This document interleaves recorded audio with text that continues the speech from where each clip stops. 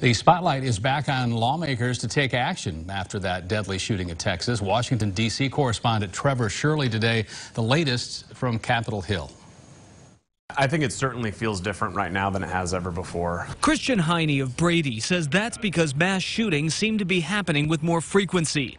Since August, three major mass shootings have killed 39 people and left dozens injured. Lawmakers just can't ignore it. They can't move on because every time that they try to move on or try to move on to the next issue, another shooting takes place. The House Judiciary Committee was supposed to meet today to get a jump start on legislation aimed at background checks, red flag laws, and other gun control measures.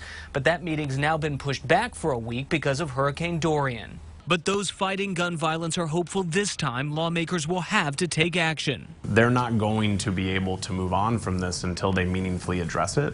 After the shootings in El Paso and Dayton, President Trump signaled he was on board with strong universal background checks. We have tremendous support for really common sense, sensible, important background check.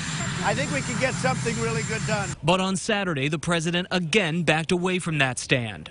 For the most part, as strong as you make your background checks, they would not have stopped any of it. It's a back and forth gun violence prevention advocates say has gotten old. Frankly, the American people aren't going to stand for that kind of bait and switch. Congress returns to Washington next week, with many hopeful some action on gun violence will finally happen.